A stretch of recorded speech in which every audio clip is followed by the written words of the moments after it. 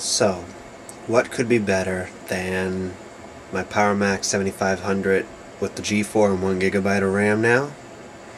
Well, glad you asked. Quake 3 Arena, kicking at a marvelous 70 frames per second on an old beast. This would be the Mac. She is G4 upgraded, connected to SoundSticks and I'm going to switch the monitor over. I am recording on the computer because my video camera's batteries are dead and it's not able to spin a tape right now. So I'm going to tell the monitor I want to go to my analog input, which from here I will shove that mouse out of the way. So here's the 7500's desktop. You see there, built-in memory, 1 gig. And we're going to go load Quake 3 Arena.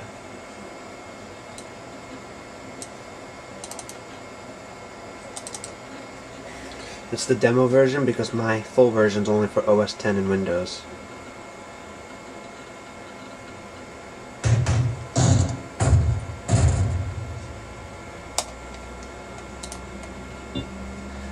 I'm just going to have it play the uh, demos because there's no way I'm going to try to control these with uh, while holding the camera.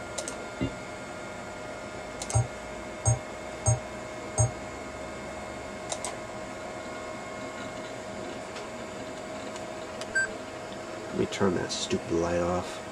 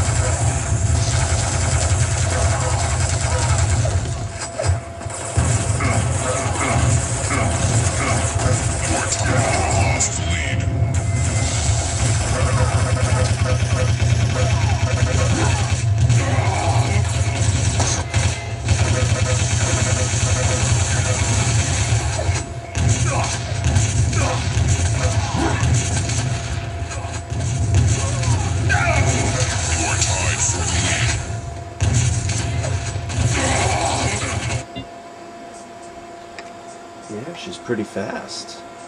Considering she normally had only a 100 megahertz processor, 32 megs of RAM, and uh, 2 megabytes of video memory. It's gone a long ways. Obviously, the video card has been upgraded to a Radeon 7000, because there's no way the uh, built-in was ever going to handle that, let alone the CPU. You can even hear it. Its cooling fans kicking the high gear. And it's like, oh my god, I'm, I'm being told to... Being told to do what? oh man, it's working really good. Let's do another demo.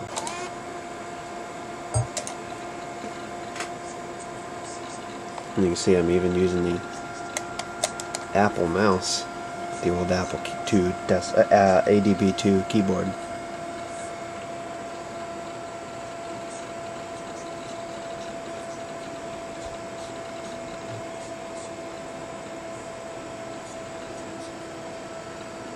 And it's in 32-bit color.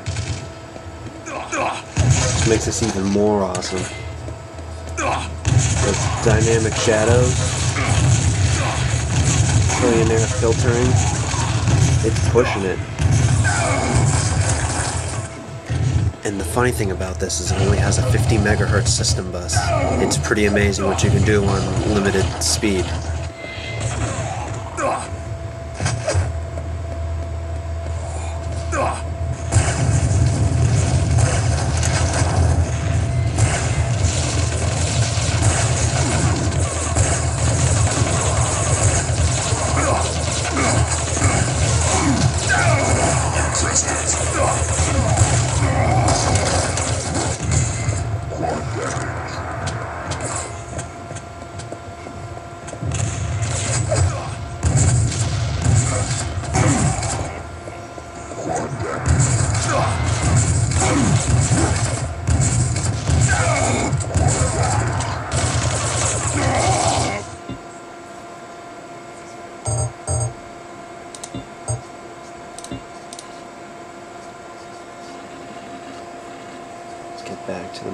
OS desktop.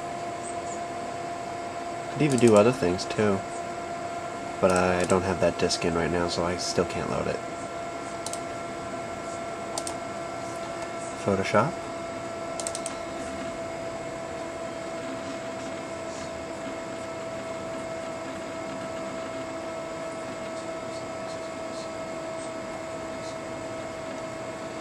Now, does anyone remember this?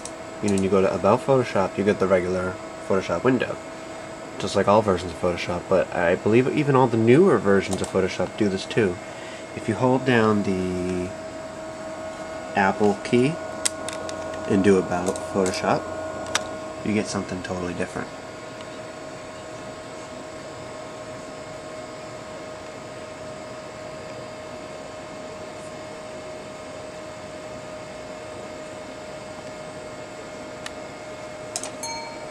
My bad.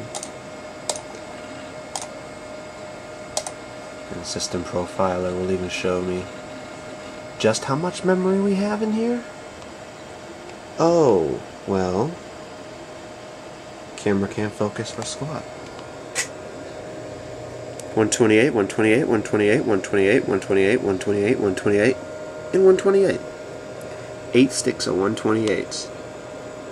Video memory 32 megabytes.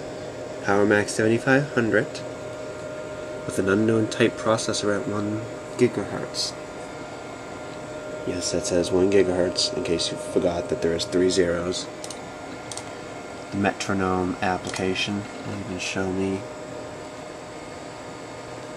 that it's got a 50 megahertz bus and a PowerPC G4.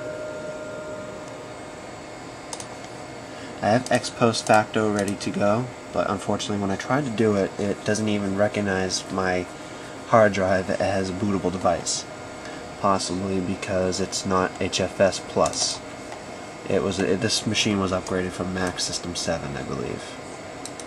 Because it was upgraded from System 7 to 8, and then I went from 8 to 9.2.2 via a patch, since this machine can't normally play 9.2.2. And quickly, I have a Sega Genesis emulator on this machine also. Which, sadly, sound emulation on this emulator is quite lacking. Quite lacking. It's sad. But it's a 1999 emulator, what can you expect?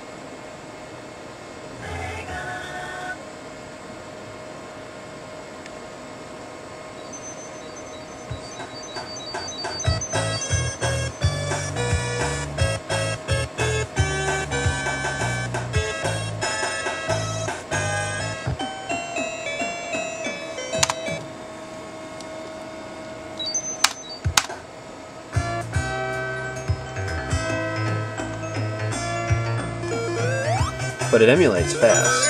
It's not that it's emulating it slowly.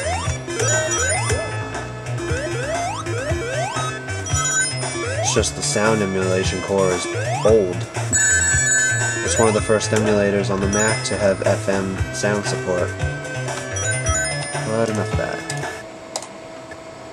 Hands getting tired. I want to do a couple things. And that's it.